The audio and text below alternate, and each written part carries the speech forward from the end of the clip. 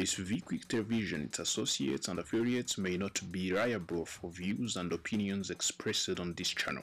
Viewers' discretion is highly advised. Please subscribe and comment. It is free to give your opinion. It is a treasure to agree or disagree during any fruitful debate, so prefer to talk rather than remain painfully silent.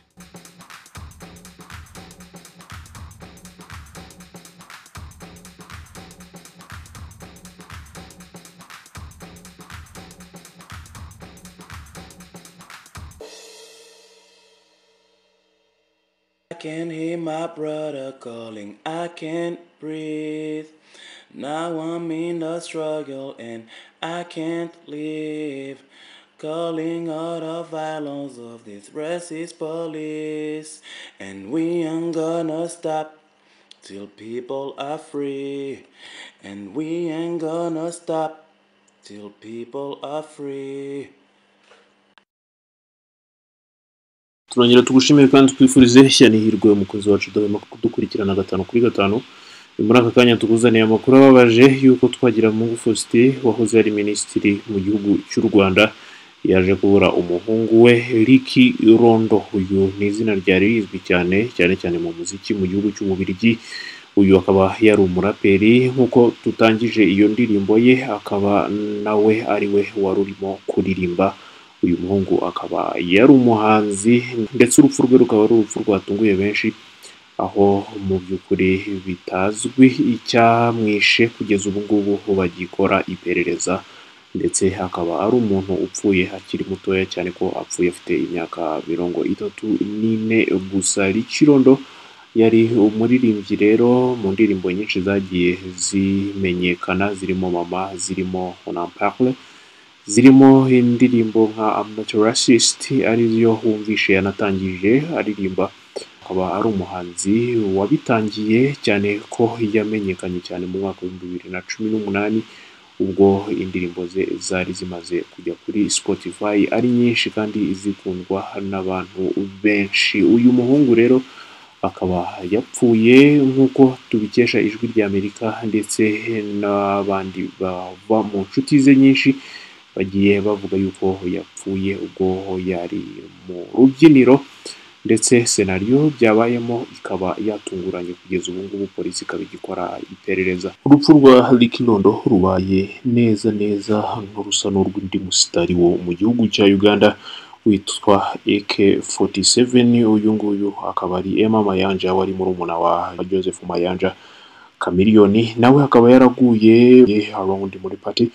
Ndetse kugeza n'ubu ngubu polisi ikaba nta kintu yigeze itangaza usibye kuvuga yuko ngo mu by'ukuri yasanzwe yapfuye ariko icyishe nyakuri AK47 ntabwo cyigeze gitangazwa. Uyu musore muri interview yaherukaga gukora yari yarabajijwe impamvu yitwa Ricky Rondo agerageza kubisobanura ubwo yavugaga yuko Rondo ari izina yakuye ku muryango?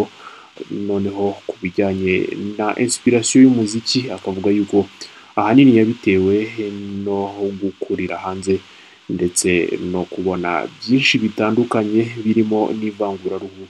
Ndetse ikindi cyabimuteye ngo ikaba ari amateka ashaririye igihugu cye iki gihugu cy'u Rwanda cyane cyane ya jenoside yakorewe abatutsi aho bamubajije cyane cyane ku kintu yibuka kitazamuva mu mutwe akavuga yuko ngo ikimubabaza ari uko ngo hari umwana w'umunyarwanda uri mu bubirigi cyangwa se mu gihugu cyifashije umerewe neza mu gihe hari n'undi mwana w'umunyarwanda ngo uri mu mashyamba ahantu muri Congo ari impunzi atajya ku ishuri ndetse anamerewe nabi. Ngayo nguko rero kugeza ubu ngubu turacyagukurikiranira tubumenyere icyaba cyahitanye Ricky Rondo kugeza ubu ngubu kitaramenyekana kuko polisi ntabwo iratanga postmortem report. Ikimara gusohoka rero turaba tuhari turakumenyesha tukunda cyane komeza ubane natwe. Umwana wahoze ari minisitiri w'intebe w'u rwanda faustin twagiramungu yitabye imana marabira mu gitondo cyo kuri iki cyumweru cya pasika. Rodolphe shimwe twagiramungu yari yajyanye na bagenzi be kubyina. Abaganga baracyashakisha icyamwishe. Yitabye imana afite imyaka mirongo itatu n'ine y'amavuko. Yari umuririmbyi uzamuka imwe mu ndirimbo ze zamenyekanye cyane niyo yise mama. Umuyobozi mukuru wa kiliziya y'abangirikani mu bwongereza musenyeri justin welby kuri iki cyumweru yashyize mu majwi gahunda y'ubufatanye y'ubwongereza n'u rwanda gahunda igamije kohereza mu rwanda binjiye mu bwongereza bashaka ubuhungiro ariko badakurikije amategeko. Musenyeri welby yavuze ko iyo gahunda inyuranije no gushaka kwimana.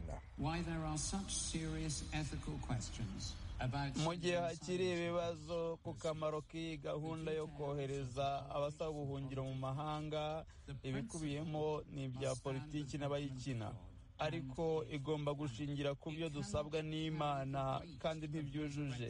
Ntabwo iyi gahunda ifite ubutabera dukura mu kuzuka k'ubuzima bwatsinze urupfu.